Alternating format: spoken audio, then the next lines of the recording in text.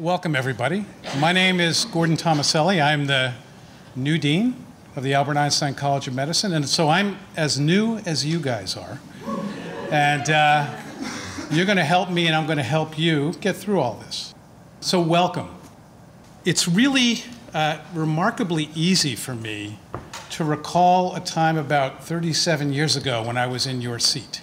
I remember the excitement, kind of anxious anticipation and I remember very vividly my time at Einstein.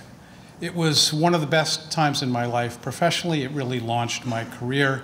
It actually made me the physician scientist that I am. It was a truly, truly remarkable time for me.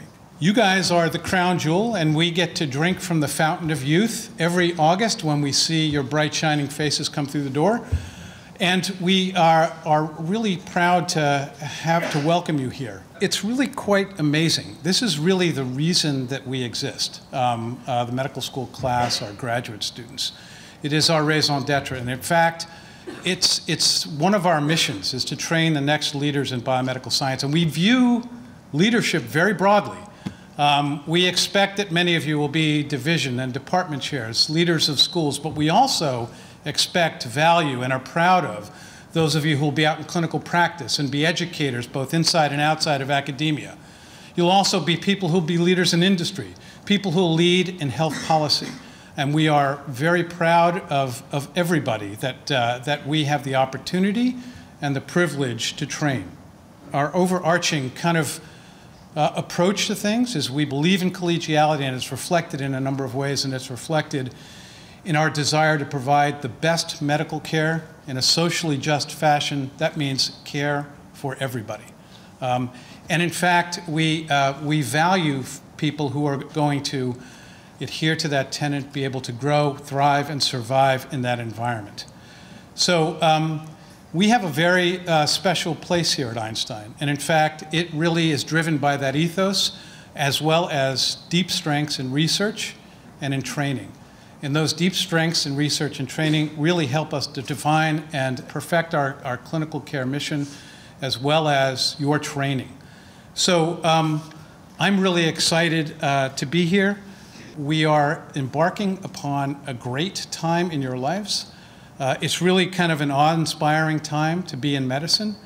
And um, we are here to help you achieve your clinical and professional goals. But equally importantly, we also understand that in, in addition to knowledge, we want to help you develop the process by which you think, by which you solve problems. And in fact, I think that's very consistent with our namesake's impression of the world. And his impression of the world was that imagination is more important than knowledge.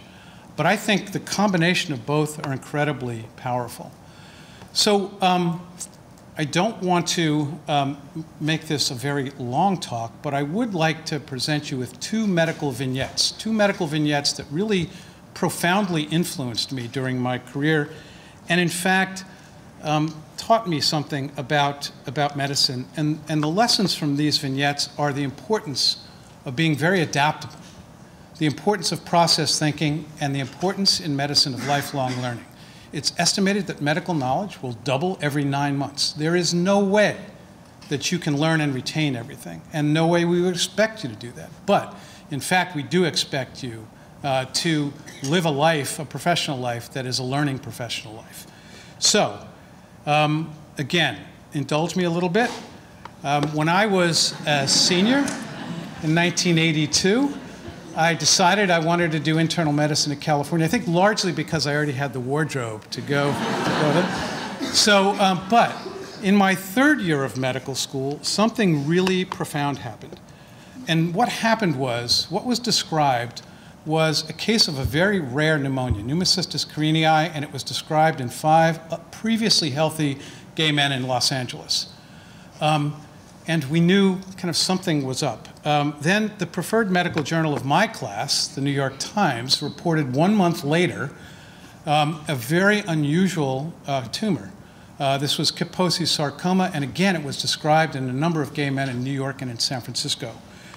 So the observation here was, was really pretty profound. And by 1981, 270 of these cases of severe immune deficiency had been reported, and people believed that it was uniformly fatal at the time.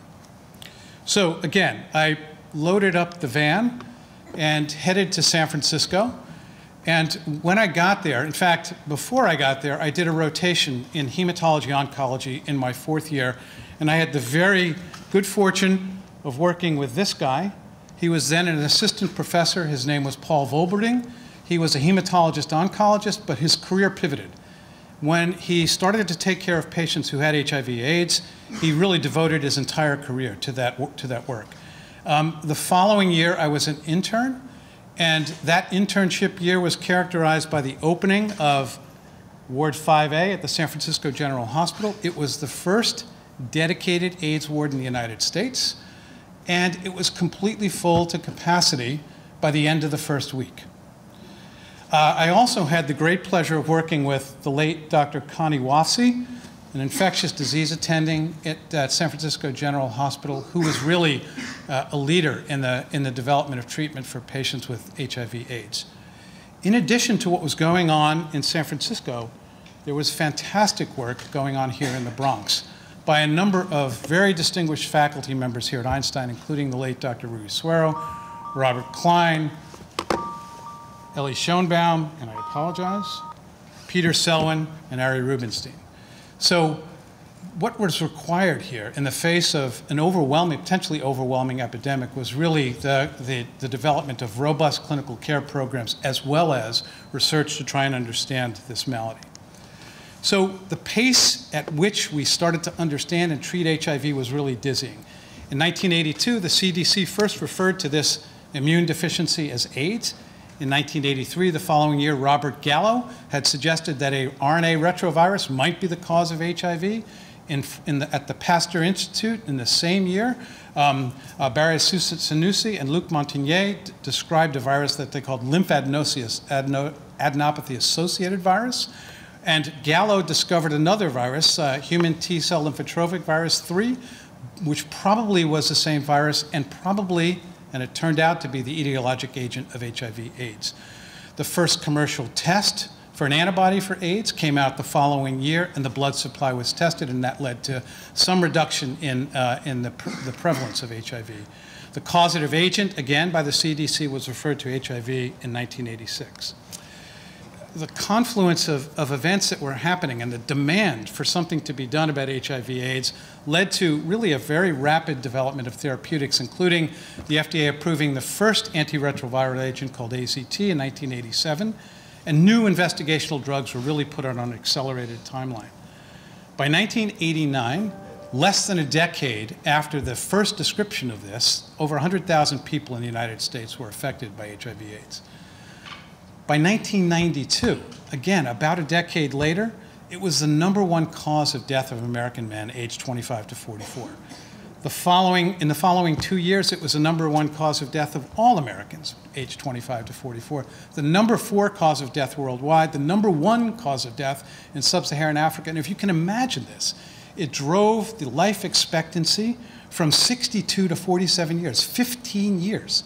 This was a really, truly remarkable epidemic that, that really led to the confluence of what was going on in biomedicine at that time and clinical care as well as epidemiology. So there, were, there was a remarkable kind of um, uh, growth in the development of techniques to, to study and understand the structure of proteins at the molecular level with crystallography. This was wedded with uh, advances in virology, in pharmacology, and physical chem and medicinal chemistry, and, and in fact, um, a whole process of rational drug design was began, and pharmaceutical companies and academics and academic centers began to develop the structure of, of small molecules um, uh, bound to a number of different HIV proteins, in this case, the protease uh, for HIV, and literally, in less than a decade, over 100 HIV structures had been developed, and in fact, the FDA um, started to approve drugs uh, to treat HIV at a breakneck pace, and we started the era of HAART, or highly active antiretroviral therapy. The government started to fund a number of, uh, a number of institutes to, um, somebody really wants me, a number of, a number of institutes to, uh, to actually better understand uh, HIV/AIDS. And these were CFARs, or Centers for AIDS Research, and we have a truly remarkable one here at Einstein, led by Harris Goldstein. So, there was a palpable effect of this mobilization of effort on the part of science and society, and by 1997, the CDC reported the first substantial decline in the incidence of AIDS. However, by 2000, again, less than two decades after the first description, over 565,000 Americans had died of HIV/AIDS. There were over, however, 100 antiretroviral drugs that had been approved by the FDA worldwide. These were being used.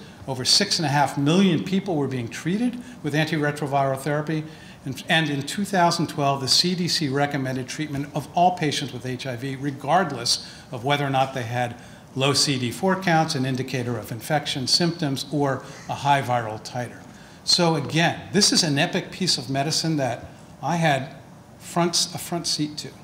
So let me bore you with one other which I think is, again, a truly remarkable saga in medicine that's occurred over the course of my professional career. You guys will all see coronary artery disease. It is the most prevalent disease in our population. 16 and a half million people aged 20 or greater have coronary heart disease in some form. Three quarters of a million people every year will have a first coronary artery disease event, heart attack, sudden death, or the development of chest pain that's due to compromised blood flow to the heart. Over 366,000 Americans will die each year because of coronary heart disease. Now, myocardial infarction or a heart attack is the result of an occlusion, a thrombotic occlusion of a coronary artery. If that's not fixed quickly these days, what happens is heart muscle dies, and the result may be, in fact, reduction in heart muscle function. So, what did we do when I was a medical student? Well, when I was a medical student in around 1980, the patient plan, the therapeutic plan, really relied a lot on rest, quiet, anxiolytics, and occasionally we'd give patients some lidocaine to prevent them from having an arrhythmia. Um, and we did a lot of studies about trying to figure out what, what were the best medicines to use. The pace now is completely frenetic. In fact, the goal is to get patients, once you recognize they're having a heart attack, into the cath lab and open up that coronary artery, either with medicines or mechanically with a balloon. Um, so this has really evolved into a total system of care of which you will be part.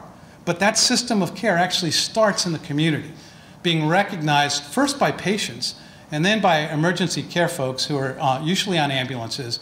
And by virtue of symptoms, by virtue of electrocardiography, trying to dose, diagnose myocardial infarction as quickly as possible and getting patients to the right venue to be taken care of so we can open up their coronary. I'm hopeful that this is going to work. Can you play this for me? Um, I don't know if I can get this. To, there we go. Good. So this is a coronary angiogram, right coronary angiogram. That thing is blocked. That's causing a heart attack. Within minutes, what happens is there's a, a wire and a balloon that crosses that blockage. There's a balloon that's blown up. It opens up the coronary artery. And then we put in a piece of chicken wire. And that piece of chicken wire actually stents open the coronary artery. And if you do this quickly enough, people will not suffer any damage to their heart. Interestingly, one of the first generations of, uh, of these stents or these wires um, that had a drug coating, and the drug coating was there to prevent proliferation of cells around the stent, was coated with a drug called Taxol. Taxol was a drug that was developed here for therapeutic purposes by Susan Horwitz. So again, a truly amazing change in, in the way we treat heart attack, but I will tell you as a cardiologist that we love to fix broken hearts, but the best thing to do is to prevent them from being broken in the first place, and we've really taken a lot of effort to try and better understand coronary disease prevention. And coronary disease prevention, that's actually prevention that's pretty broad-based. Coronary disease prevention will, will benefit your, and reduce the incidence of stroke, of cancer, of chronic lung disease, basically of all non-communicable disease. So, um, why did I talk about these two vignettes? Well, I talked about them because my generation of physicians and physician scientists had a front row seat and were active participants in, true, in two true, truly amazing epics in medicine. And you, and I don't know what these are going to be, but you are going to have front row seats to the next series of changes in medicine that are going to be epic. And you're going to be participants, and you're going to really marvel. This is an awe inspiring career. We are here to help you make the most out of that training and make the most out of your impact in medicine. So, uh, that's all I have to say this morning. I want to welcome you all. I want to thank you for being here. I want to thank you for making me feel young again, or maybe old again, because you guys look so young. My best wishes to you, and have a great year of the next four. So thanks.